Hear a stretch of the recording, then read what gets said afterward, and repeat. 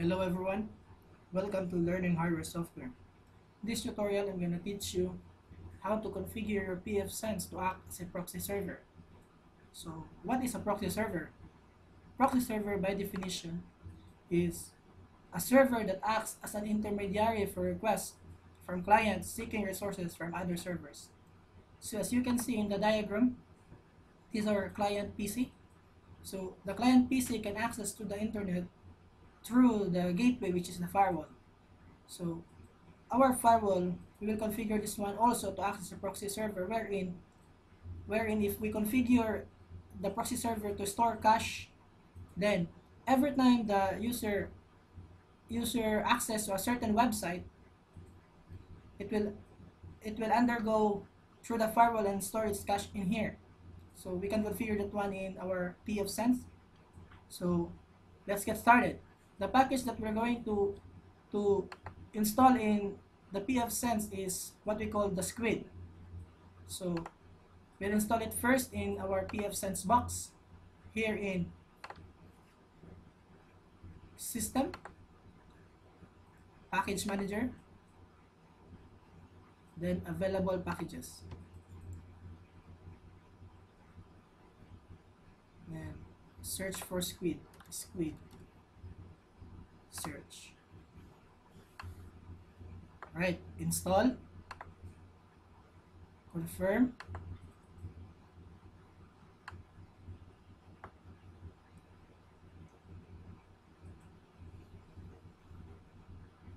While we're waiting I'm gonna pause the video.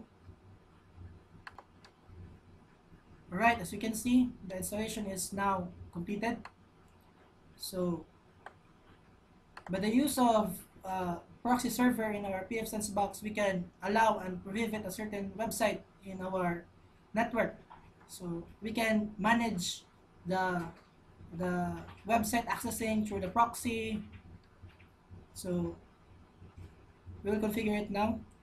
It can be found here in the services and squid proxy server. Right there's another diagram here so as you can see there is a PC here. So every time a PC access to a certain website it will go to the firewall which is your gateway.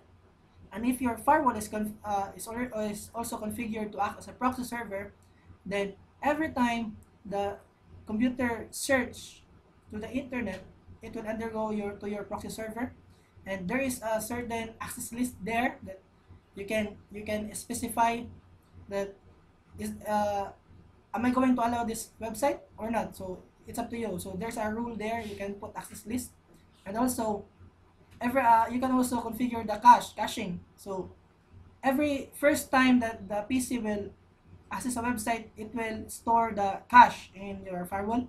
And the second time that there another computer will access to your firewall, so it will fetch the cache here in your firewall, not to the outside. So the response time will be fast. So we'll now configure. pfSense and go first to the local cache, right?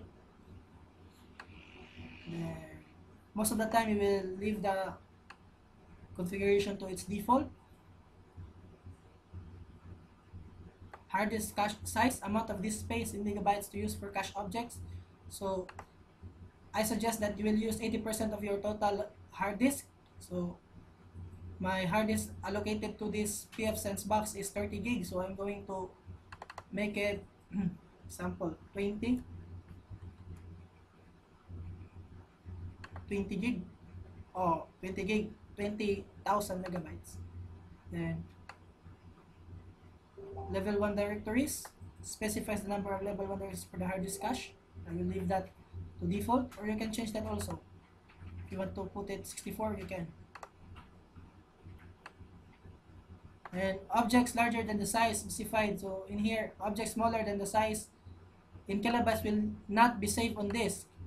Objects larger than the size specified will not be saved on disk. So we can specify it here the maximum size of a certain cache object that will be allowed to be stored in your in your uh, hard disk So, memory cache, cache size specifies the ideal amount of physical RAM to be used for in-transit objects. So, I will leave that to its default. You can also you can also uh, modify it here. I suggest it, use the 80% of your total RAM. So my RAM is 1000, 1 gig, 1024 MB. So I can modify this one to 512 or 50 to 80% of your total RAM. Then we leave that to default. Then save.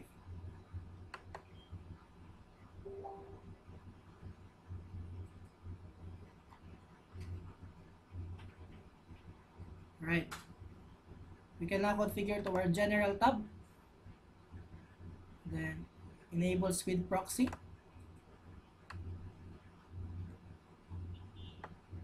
Hmm.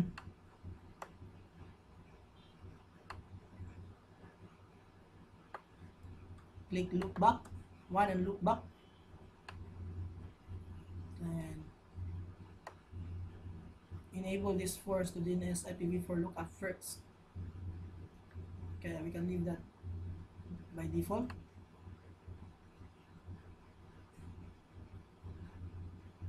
Uh, if you want to configure transparent proxy wherein you can you will not will not change any configuration in your client's PC or to your network, you will configure transparent. So it will automatically the client will not know that there is a proxy server in your network because it is configured transparently. So transparent HTTP proxy, therefore, this proxy server will only will only log HTTP traffic, no HTTPS. Then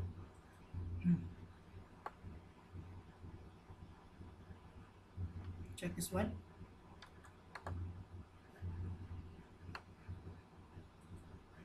I will make another tutorial of HTTPS SSL interception. So I will leave that uncheck first and enable access logging rotation log I'm gonna make it 7 log pages denied by SquidGuard so I will make another tutorial about SquidGuard so SquidGuard is a package in your pfSense which uh, functions as a content filtering. So I will make another tutorial with that. And we'll leave this by default then enable this one. And save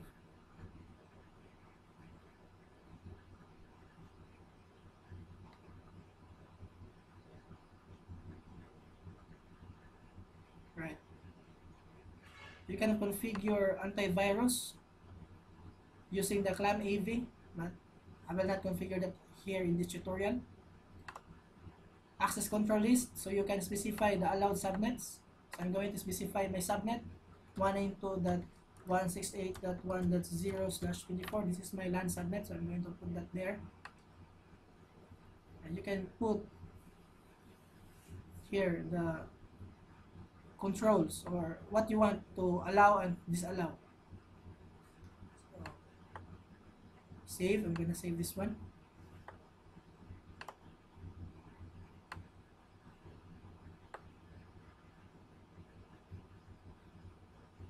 Right.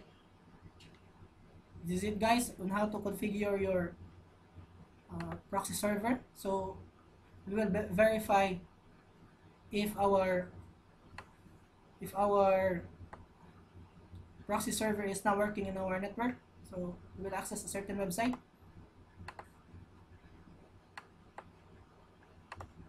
am I behind a proxy